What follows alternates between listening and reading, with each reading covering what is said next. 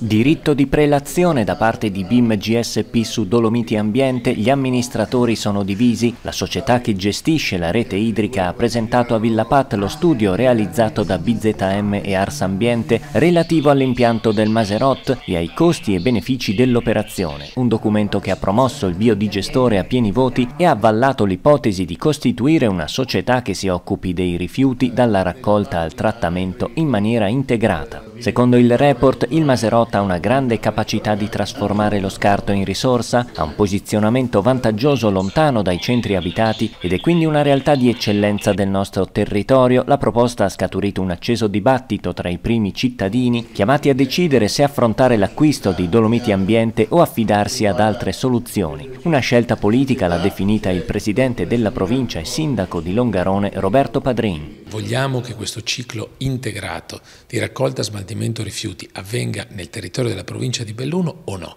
C'è un'altra opportunità, quella della famosa holding che è stata costituita dal comune di Belluno e della Bellunum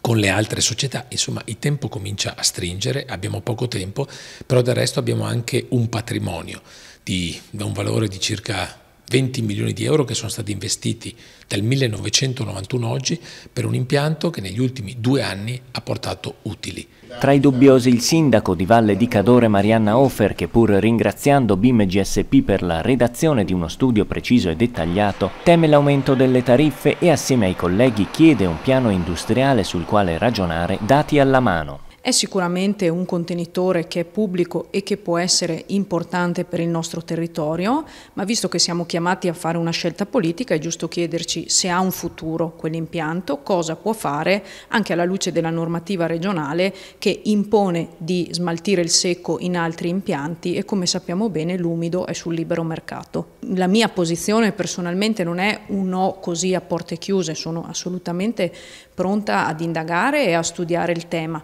però non possiamo più pensare di fare scelte in provincia di Belluno che vanno a gravare sulle tasche dei cittadini senza avere un piano industriale.